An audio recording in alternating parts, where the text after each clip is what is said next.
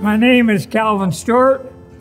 I was born here in Prescott in 1930 and uh, grew up on the family ranch at Kirkland, which is 27 or 25 miles rather west of, of the town of Prescott here.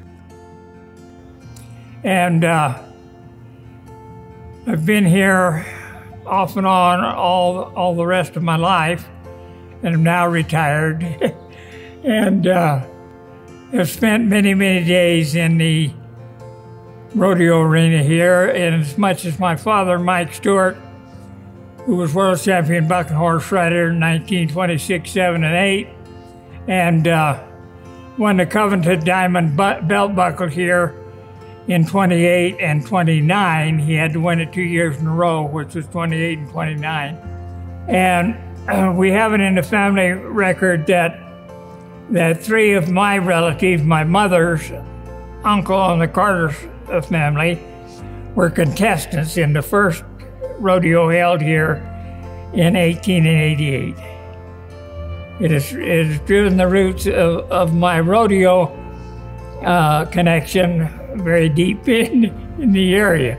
And I'm very, very proud of that and, and the, uh, the fact that it is now in the, in the capable hands of a lifelong friend of the Trujillo family and uh, JC.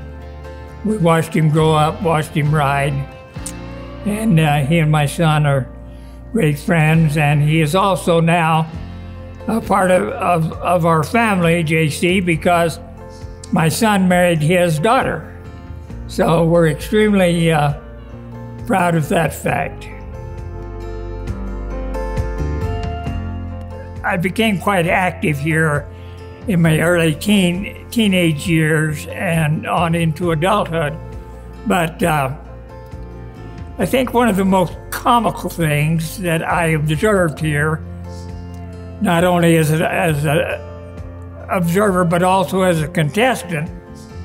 I'm going to say it was 1940, and the rodeo was going on, and they had gathered a large crowd in front of the stands as it is here today. And uh, some of the contestants or whoever decided to have a dice a dice game, and so they started shooting dice and uh, first one, then the other would would back out, and others would take a place. But the crowd gathered until it actually stopped the rodeo.